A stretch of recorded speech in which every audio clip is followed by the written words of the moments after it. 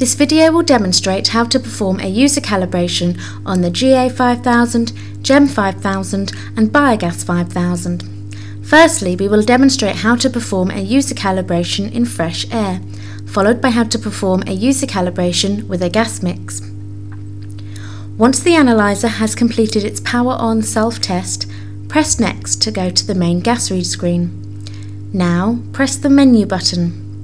Then select option 2 for gas check and select option 1 for gas check.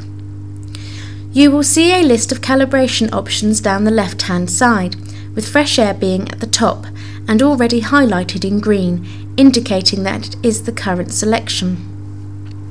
To start a user calibration in fresh air, simply ensure the option is highlighted in green and then press the return key. The pump will start running automatically and begin drawing air into the instrument. Once you are happy that the readings have stabilised, select Check.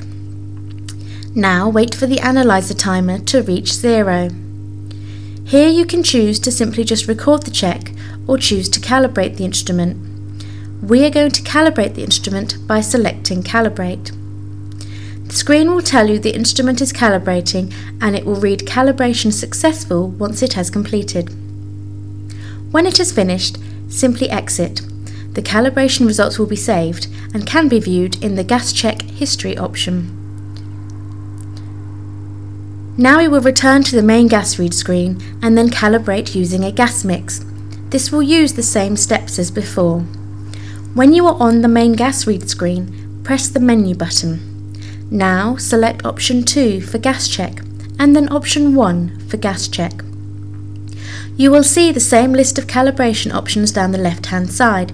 Mixture 1, Mixture 2 and Mixture 3 are some recommended mixtures available on the instrument as standard, which you can edit or you can add a new mixture to the list. We have already set mixture 3 up to be 60% CH4 and 40% CO2, which is the gas mix we are using today and likely to be used with a biogas 5000. Connect the calibration bottle to the analyzer inlet via the fixed flow regulator and regulator tubing and flow gas. The pump will not start running automatically this time as positive pressure is being applied via the calibration bottle. Once you are happy that the readings are stabilised, Select Check.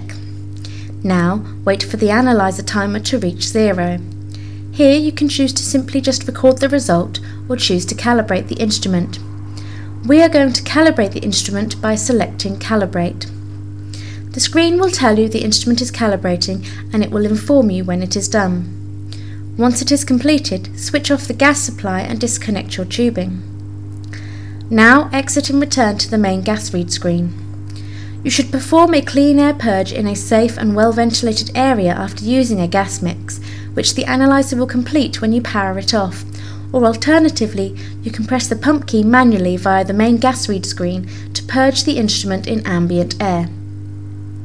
Once this process has been carried out, simply begin your gas monitoring sequence. For more information on calibrating your GA5000, GEM5000 Biogas 5000, call us today or visit our website.